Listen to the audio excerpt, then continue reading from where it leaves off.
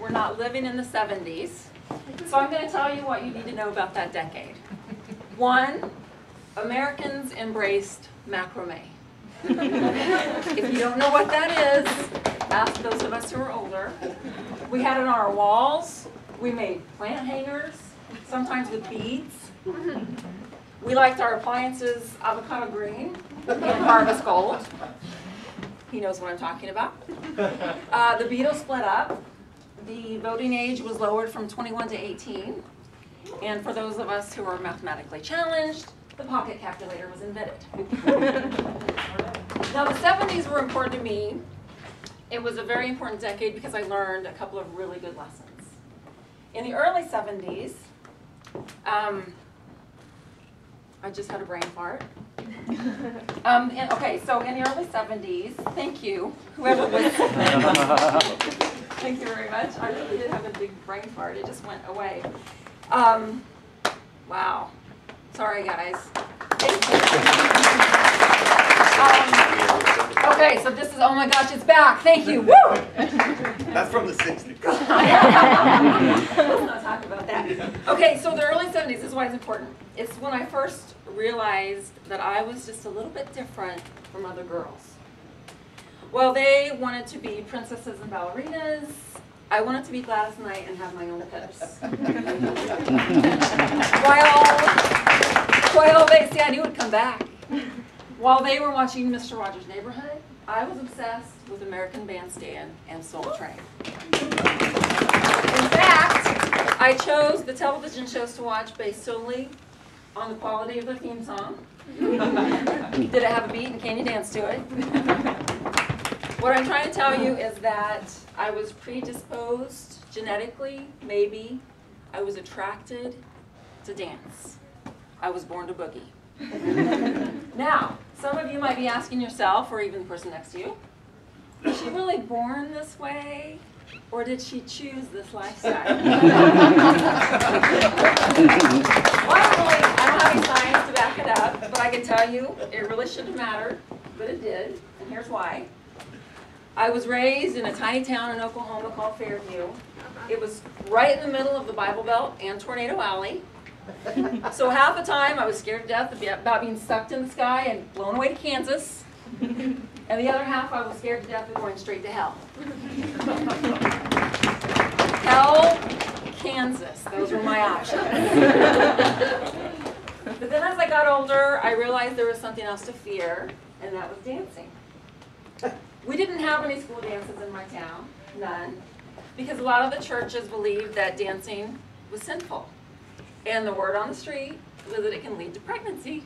this was really bad news for someone like me because I love to dance. I danced all the time. I danced in my bedroom when everybody thought I was asleep. I danced in the bathroom, sometimes before and after taking a bath. I dance in the basement, sometimes with other people. I know.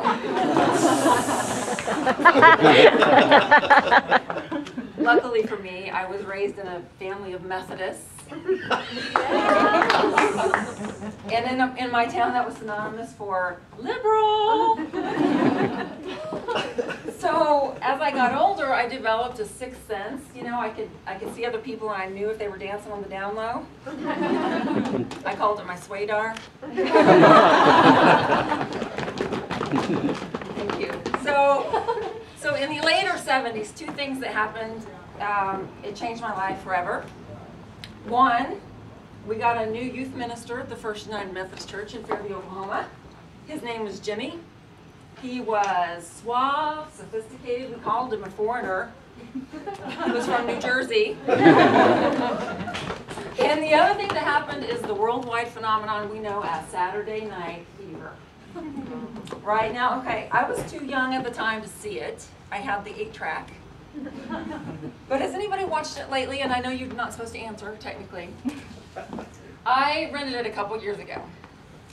And let me just tell you, if there was a plot, I have no idea. if there was something, a storyline, no idea. Do you know why? Because all I could do was focus on John Travolta's crotch.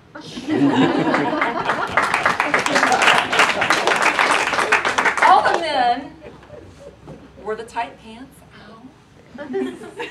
so I did. I did some research. This may or may not ruin your evening.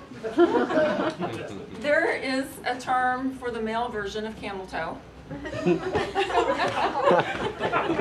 it's called moose knuckle. I am sorry, and you're welcome. so, okay, so back to Jimmy. So Jimmy comes to town and he can't believe there's no school dances. He just can't believe it. And he says, by golly, we're going to start having dances in the basement of the First United Methodist Church in Fairview, Oklahoma. And we're going to invite everyone to come. All the students can come. We thought, really, no way. Jimmy had big balls. he did not wear tight pants. So we started meeting in the basement once a week. He got a, um, you know, one of those books, How to Learn Disco in 10 Easy Lessons. And we pull, he pulled out a chart. It looked like a football play. He put it on the wall. But the problem is, on the other wall was a big old portrait of Jesus. Whom I later learned to call Disco Jesus. you can imagine how intimidating you've been told that dancing is sinful, but we're practicing in front of him. And so I was always tempted, you know, we're doing this, and I was always tempted to do this. it was both a sign of the cross and protection from lightning. so we all got ready, we were excited, and the first event came around, and it was after our football game, and we had our disco, you know, clothing on, and we had nude uh, lighting and punch and cookies. And we all start dancing as just as Methodists, right? And we thought, is anybody going to come to this? And if they do, will burning torches be involved? we didn't know what to expect, so we start dancing, and pretty soon after about the second or third dance, the up the stairs, the door opened to the parking lot, and we all froze. and slowly but surely down the stairs, like a trickling line of melted ice cream. It was all vanilla. the non-Methodists came into the room. Well, Jimmy worked his magic because we didn't know what to do.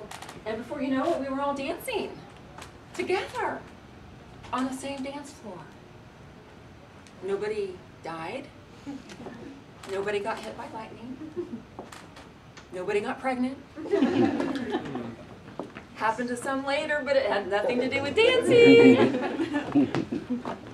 and I became hopeful that night because I thought, if we can all dance together under the same roof, maybe one day we can be out in the open. Dancing in public under the stars. Years later, I would look back, and there are two main lessons I learned from that. One, I don't think Jesus cares if you go dancing. And number two, unless I missed a really big news story, we're all human, we're all flawed. And I don't think another human has the authority to tell me that the way that I was born, the depth of my soul is wrong. So this is my advice. The next time somebody tells you that the way that you are, the depth of your soul is wrong, you tell them this. Go take it up with Jesus, baby, because I'm going dancing.